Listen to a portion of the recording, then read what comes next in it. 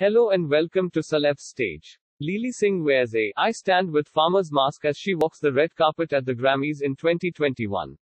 The Grammy Awards, the music industry's biggest night, took place on Sunday, and some celebrities made headlines on the red carpet while others made their presence known virtually. Lilly Singh, an actress and famous YouTuber, also walked the red carpet and used the opportunity to voice her support for the farmers' protests in India.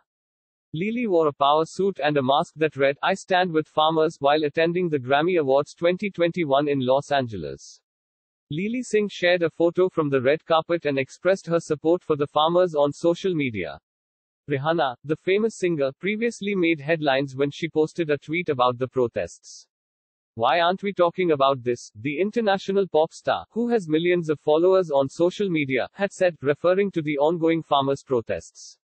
With thousands of likes on her tweet, she quickly became a top trend in India. If you like this video, please give us a thumb up and share it with your friends. Subscribe for more videos like this.